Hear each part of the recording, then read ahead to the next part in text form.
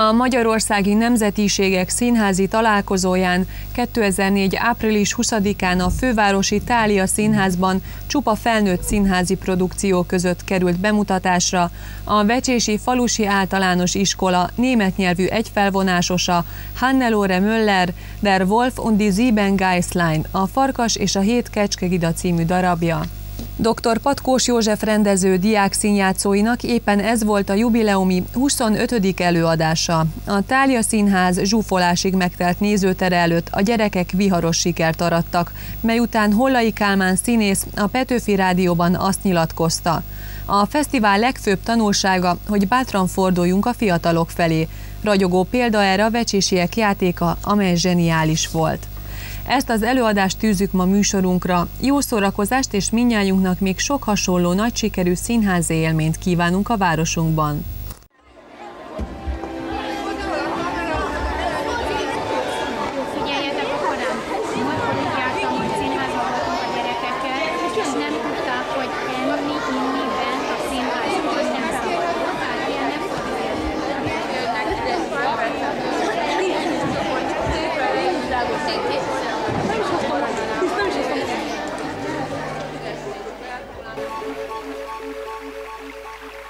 Bye.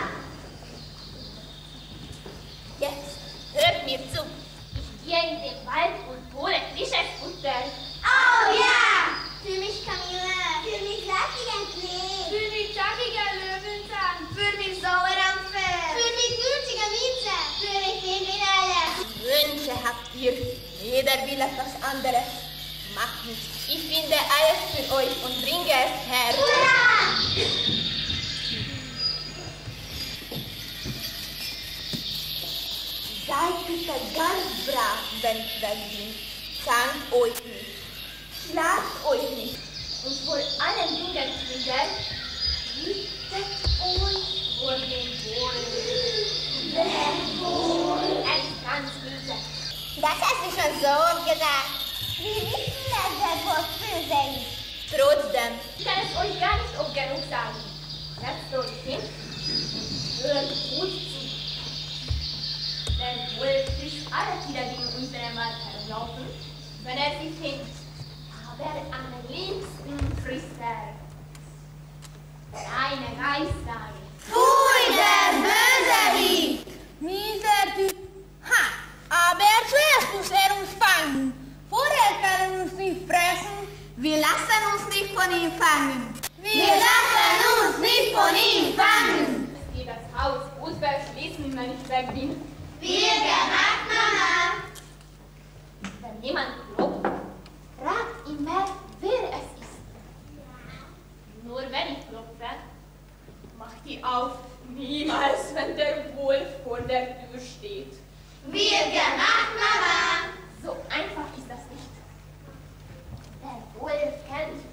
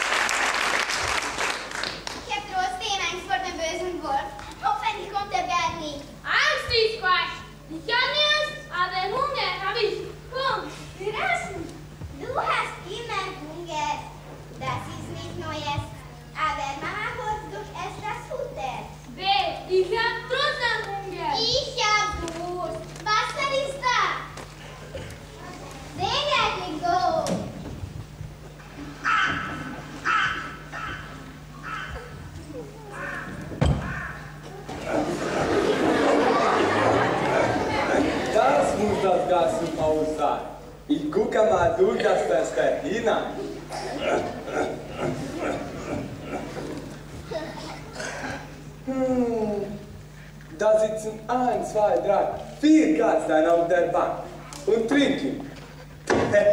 Aber nicht mehr lange, dann werden sie gefressen.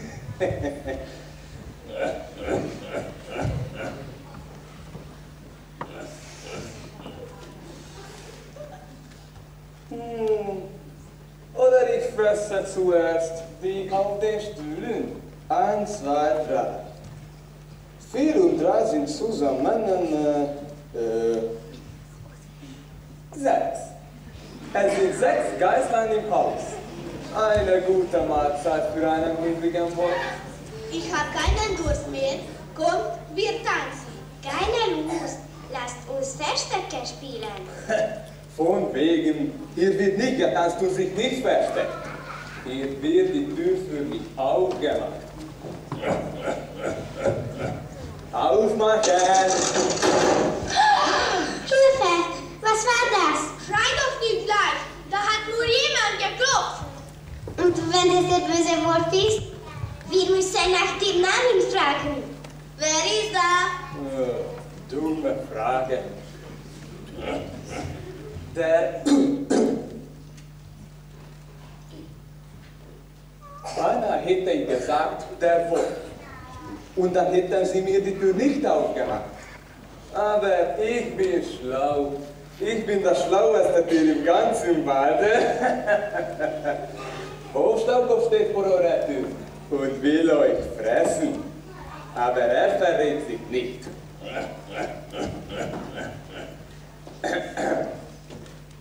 Macht auf, ihr lieben Kinderlein. Hier ist eure Mutter. Hört ihr die raue Stimme? Das ist bestimmt der böse Wolf. Die Mutter hat gesagt, er hat eine tiefe Stimme. Du bist nicht unsere Mutter. Du bist der böse Wolf. Du bist der böse Wolf. Du bist der böse Wolf. Das ist bestimmt der böse Wolf. Ich zittere vor Angst. Ja, dummes Geisterpack. Macht einfach nicht auf. Aber wartet nur. Ich lasse mir etwas einfallen. Böser Wolf, böser Wolf, du kannst uns gar nicht schaden. Wenn du was willst, dann komm doch her und rüttel an dem Laden. Der ist zu und raus bleibst du. Ich habe trotzdem Angst vor dem bösen Wolf. Ja, für euren sollt ihr mir büßen. Ich bin sehr schlau. Viel schlauer als ihr. Vor allen Dingen aber habe ich Hunger. Hm. Ich denke mir einen Trick aus. Äh, ich euch und dann fress ich euch. Das ist ein echter Vorspaß.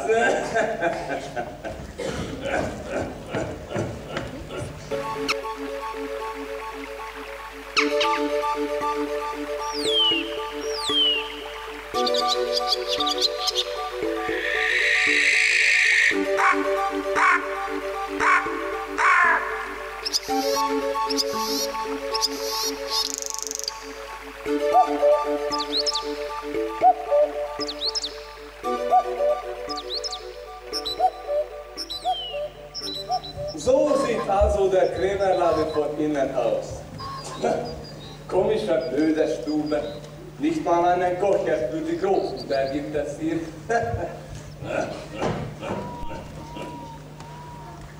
Was steht denn auf dem Schild? Äh, I, A, A, A. Eis? Was soll ich mit Eis? Ich will doch nicht Frieden. Äh, der Trainer spielt. Ich brauche Kreide. Hey, Bedienung! Die Geister haben mich an meiner Stimme erkannt. Das darf nicht noch einmal passieren. Kreide mal die Stimme hell und fein. Fein? Also fresse ich ein Stück Kreide. Der Trainer muss mir ein Stück Kreide geben. Nein, besser zwei, damit die Stimme ganz besonders hell wird. Blech, Kreide fressen statt Geistein. Nichts für Wölfe. Brrr. Nützt nichts. Erst die Kreide, sozusagen als Vorspeise. Aber dann, aber dann, dann die Geißlein, alle sechs. Hm, lecker. Bedienung! Da hat doch wer gerufen. Und das der Wolf war. Was will der hier? Noch nie war ein Wolf in meinem Laden. Hey du, Eismann! Fährst du am Boden fest oder warum kommst du nicht her? Guten Tag, Herr Wolf. Wünschen Sie etwas, Herr Wolf? Natürlich wünsche ich etwas. Sonst wäre ich ja nicht wie du vor. Und was wünschen Sie, Herr Wolf? Kreide, herrlich Kreide am Fuß. Weiße oder bunte Kreide sein, Herr Wolf? Hm.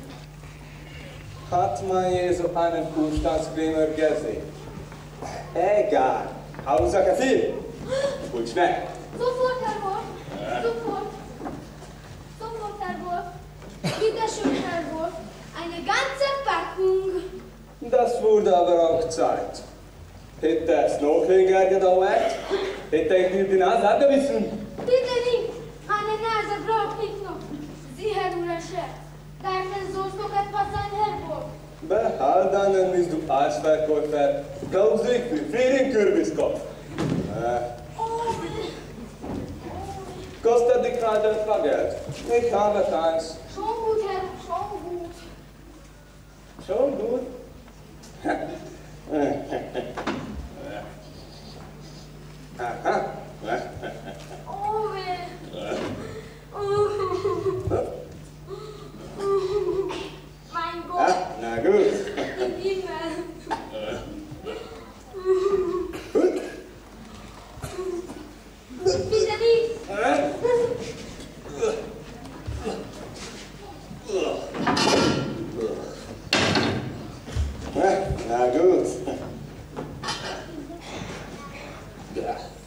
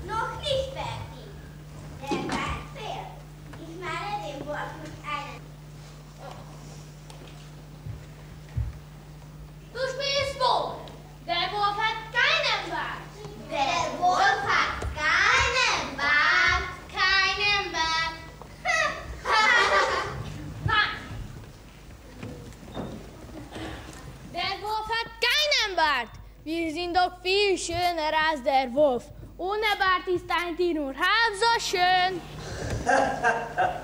És tőle rászti! Én hát volna itt ez a szenicsvár. Ő lesz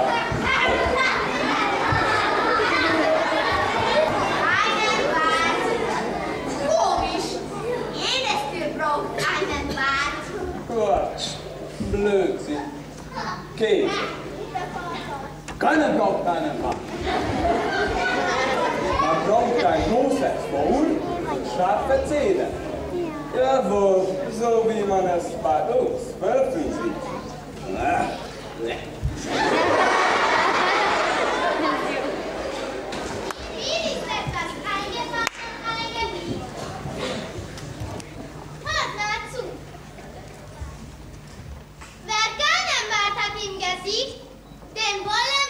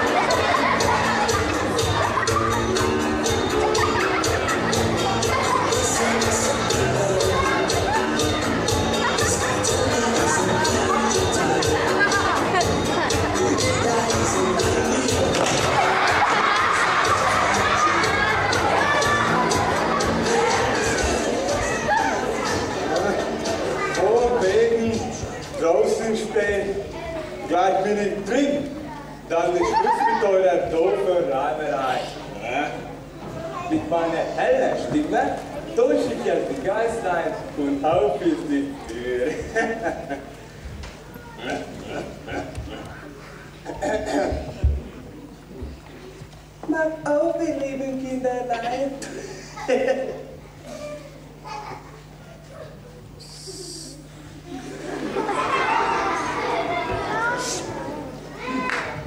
Hier ist eure Mutter und hat für euch etwas Gutes mitgebracht. Prima, Mama Isa. Jetzt gibt was zu essen? Nicht aufmachen. Wir müssen ersehen, ob da draußen vor der Tür eine weiße Pfote hat. Wir müssen die Pfote sehen.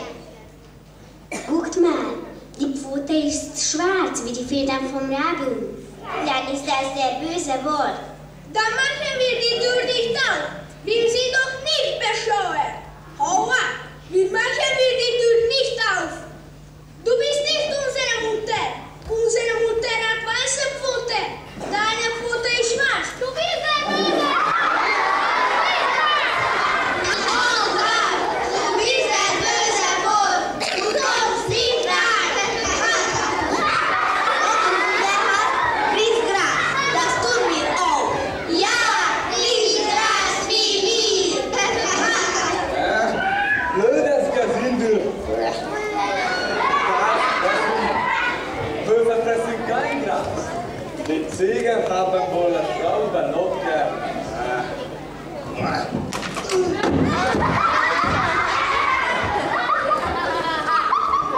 Aber ich kriege die Gas dann doch noch. Ich habe Hunger und wir fressen. Und zwar Fleisch. Sagt ihr du, das Lackenfeld geht euch bei. Wer zuletzt lacht, lacht am besten. Und das bin ich. Ich weiß, was ich jetzt mache. So dumm sind wir nicht, dass wir Vor freilassen. Guckt mal,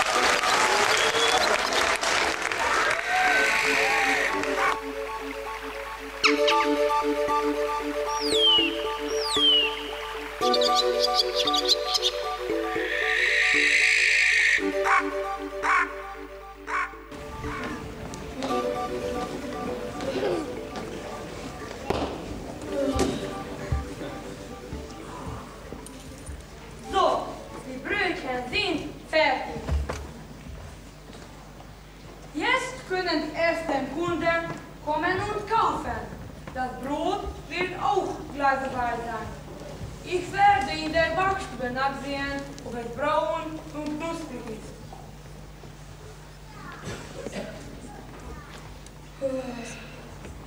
Ein Bäcker hat es schwer. Immer früh aufstehen, ein anderer noch schlafen. Bin noch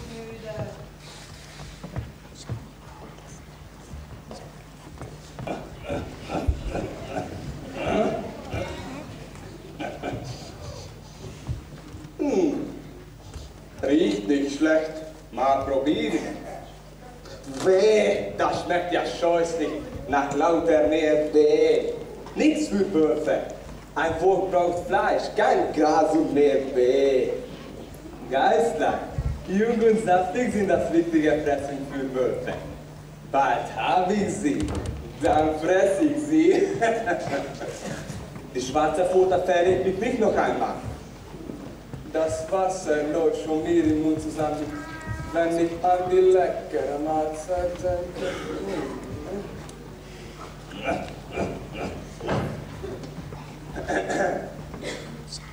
Geistlein frisch und Geistlein klein, werden gleich im Magen sein. Hagen und Donner leben und Wichse, wo steckt der Bäcker? Mein Magen knurrt und der Faulpelz steckt sich derweil Futter in seinen Wanst. Hey Bäcker, Bedingung!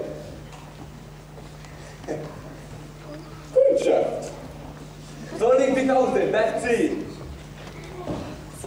Komm schon? Wer kann den hier nicht warten?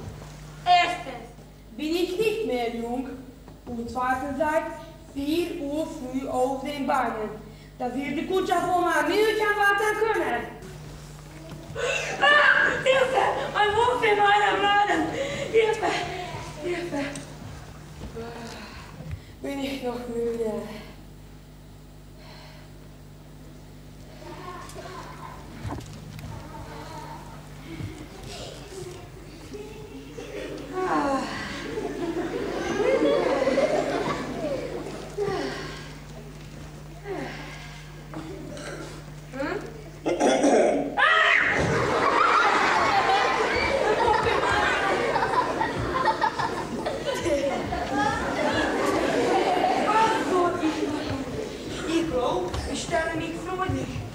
Entschuldigung, Herr Wolf. Ich hatte keine Ahnung, dass Sie es sind. Was darf es sein, Herr Wolf? Ein paar Brötchen gefällig? Ja, gib deine Brötchen, wenn du willst. Oder schmeiß sie zum Fenster hinaus. Ich fresse keine Brötchen. Möchten Sie Brot oder Kuchen? Friss deine Mist selber. Hör auf mit irgendeinem Macho Bedini. Was darf es sein, Herr Wolf? Gib mir Teig auf die Pfote. Und zahl ein bisschen Dahl. Pfote schmieren. Aber Los, los, worauf wartest du? Hast du keinen Teig? doch, doch, Herr Wolf. Soll es Kuchenteig oder Brotteig sein? Egal. Teig ist Teig. Nur klebrig muss er sein. Jetzt frag nicht so doof, geh, hör ihnen schwer. Ja. Ständig dieser Quasserei. Statt herumzustehen und reden zu halten, soll der Quasser vom brennenden Teig holen. Bäh. Soll ich den Teig anwickeln, Herr Wolf? Du hast wohl nicht alle Tasten im Schrank? Du sollst den Teig auf meiner schmieren. Teig auf die Pfote schmieren. Der Wolf hat bestimmt Übles im Sinn.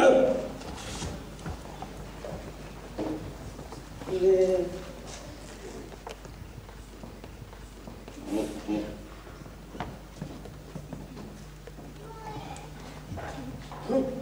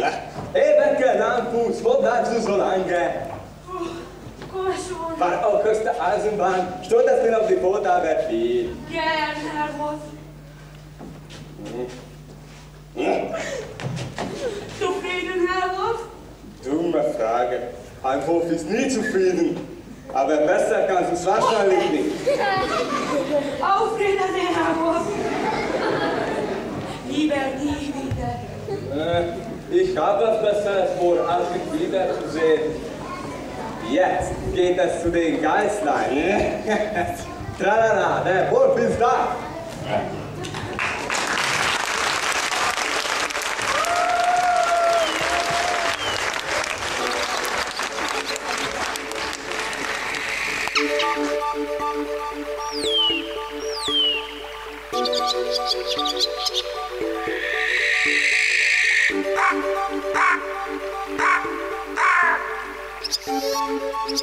Thank you.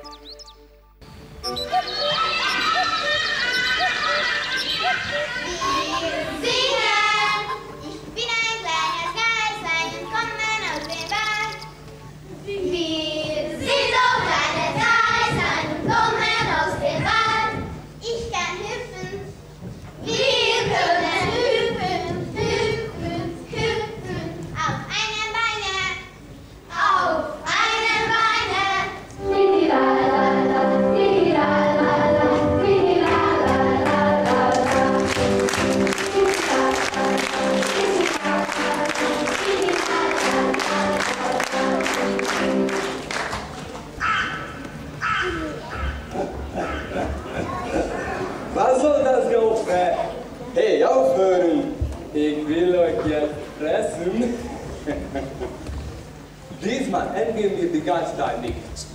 Zuerst hören die Geistein meine helle Stimme, dann sehen sie meine weiße Pfote und dann, dann öffnen sie die Türe.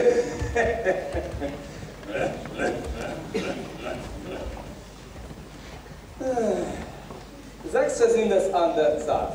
Ja, das gibt ein leckeres Mal. Heißt außer Braten gibt. Mal auf, ihr lieben Kinderlein.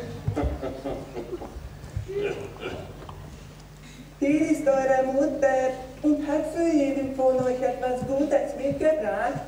Das könnte unsere Mutter sein. Zuerst müssen wir uns die Pfote ansehen. Zeig uns deine Pfote! Zeig uns deine Pfote! Gleich ist soweit. Gleich werden die Geißlein gefressen. Aber gern, liebe Kinder. Die Pfote ist weiß! Das ist unsere Mutter. Sie hat uns etwas mitgebracht. Mach schnell auf! Schnell die Tür auf!